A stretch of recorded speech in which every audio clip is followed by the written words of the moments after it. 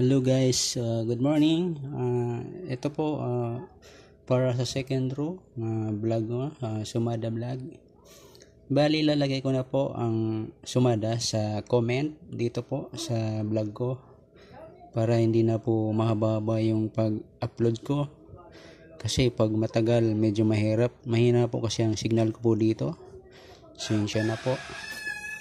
Uh, ito po uh, for second row may 17 na uh, nasa comment na sumada ko sa lahat ng location.